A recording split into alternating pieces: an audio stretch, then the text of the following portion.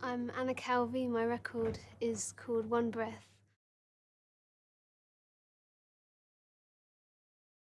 Um, I guess the first time was just a huge surprise, and this time it is even more of a surprise because to, to have both my records be nominated um, is it's pretty amazing, and it's great to come back uh, having the experience of being touring and, and ma made a second record, and I guess feeling a little bit more comfortable in, in this kind of situation and being able to enjoy it more.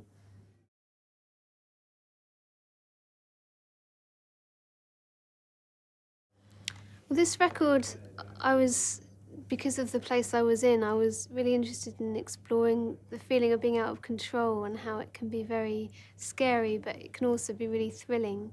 And um, just a feeling of ugliness and beauty and how how to make these two things coexist. And I, I, went back to France to record this record, so I have some really amazing memories of being in this beautiful old studio in, in France, in the middle of the countryside, and recording live with my band. And um, yeah, it was just great to be back in the studio and, and have the peace and quiet of this, this beautiful environment.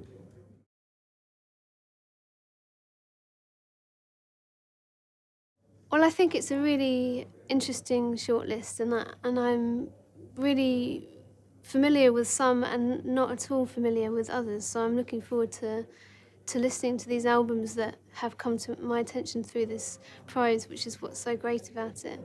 I love the FKA Twigs record and Damon Albarn's record and Bombay Bicycle.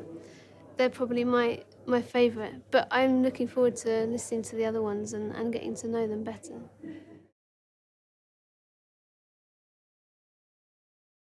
First record I ever bought was Aladdin Sane by David Bowie, and um, I saved up all my pocket money and I and I bought it and I chose it out of all of the David Bowie records because of the cover. I was really intrigued by this cover, and this album has been a huge influence on me because it's just really brave. It's really melodic. It's really strange, and it has these amazing pop songs with really unusual songs like Lady Grinning Soul and Aladdin Sane. It's still one of my favourite records of all time, and I'm really happy that I bought that record and not MC Hammer, which I was considering, so I think I made the right choice.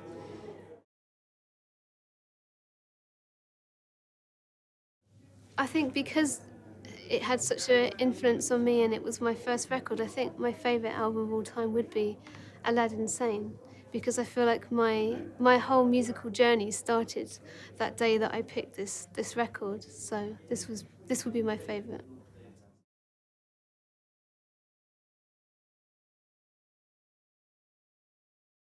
I guess some of the things that I recorded I did in my attic at home and um, some of that ended up on my record.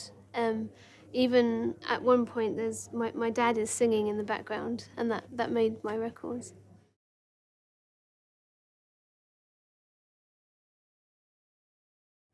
Eclectic, innovative, and um, surprising.